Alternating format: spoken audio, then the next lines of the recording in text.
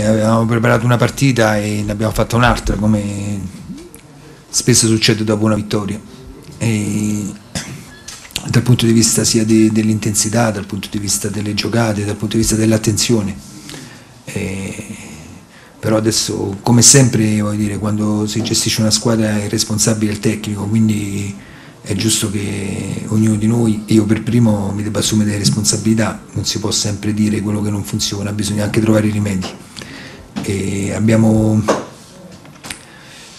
ho sempre detto che in questo, in questo campionato, in questo girone si può vincere e si può perdere con tutti,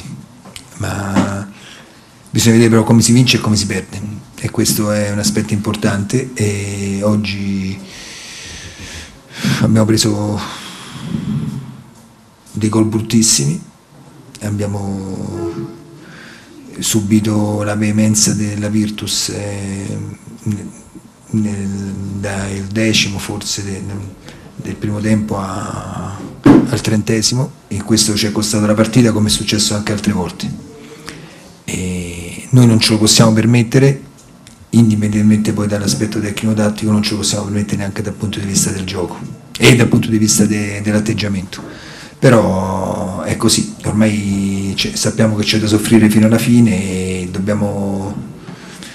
dobbiamo tenere botta e sappiamo che adesso abbiamo due scontri diretti fuori e dobbiamo, dobbiamo andare a fare il risultato fuori casa e purtroppo siamo, io per primo siamo sciocchi eh, perché non sfruttiamo queste occasioni eh, potevamo aver già chiuso questo discorso invece siamo in piena corsa. Ma io credo che sia un aspetto mentale, poi credo che sì, non c'è una grande attitudine a giocare, a giocare partite toste, eh, ma parlo a livello genetico, non c'è una grande attitudine a, a giocare sulle seconde palle, a fare una partita maschia e questo, e questo è un po' quello che, che, è la nostra squadra, ma noi siamo consapevoli di questo, credo che io quando parlo di consapevolezza, ecco, vorrei, vorrei, invitare tutti, me per prima, a stare con i piedi per terra e, e capire che le partite vanno giocate oltre da un punto di vista tecnico-tattico anche da un punto di vista agonistico